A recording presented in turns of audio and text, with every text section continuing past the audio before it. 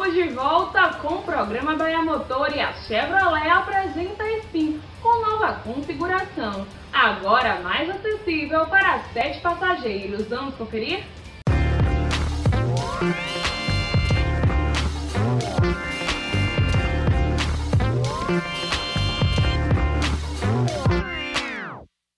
Para a linha 2023 da Spin, o modelo da Chevrolet ganha novas versões e evoluções em acabamento que deixam o produto ainda mais atrativo.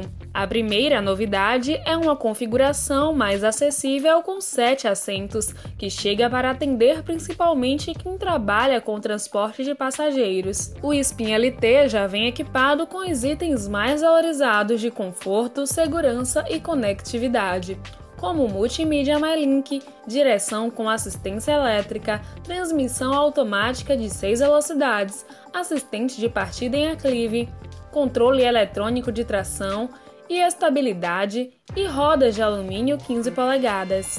Outra inovação é o retorno da versão intermediária LTZ, mas que volta agora como uma configuração de cinco lugares para quem busca um automóvel em acabamentos exclusivos. O compartimento de carga chega a 710 litros, isso considerando somente o volume até a altura dos bancos, sem obstruir a área envidraçada. Como comparação, este espaço é cerca de duas vezes maior que SUVs de comprimento semelhante, o que permite levar uma cadeira de rodas montada. Em comum, todas as versões do Spin ganham nova opção de cor cinza grafite, para carroceria e mudanças de acabamento interno, como painel, bancos e os revestimentos das portas em novos tons. No caso do modelo Active, de apelo aventureiro, muda também as cores do quadro de instrumentos, as costuras pés pontadas que adornam bancos e volante e detalhes das rodas.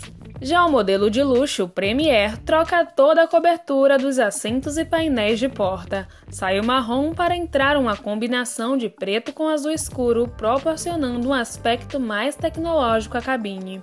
Comum a todas as configurações do Spin também é a segunda fileira de bancos com mecanismo corrediço. Por ser montado sobre trilhos, a peça pode ser movimentada 50 mm para frente ou 60 mm para trás no intuito de redistribuir melhor os espaços conforme a necessidade do usuário.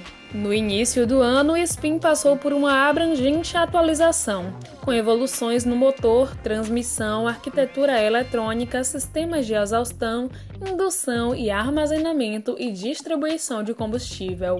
Tudo isso trouxe uma melhor dirigibilidade ao veículo e reduziu a emissão média de gases em até 43%. A linha 2023 do Spin reserva ainda outras inovações, a começar pela ampliação da gama de acessórios, entre eles o sistema de partida do motor na chave por controle remoto e o sistema de acendimento automático dos faróis com sensor crepuscular. Outra novidade são as novas configurações do modelo, equipadas com transmissão manual de seis marchas que chegam ao mercado nos próximos meses para atender essencialmente o público frotistas.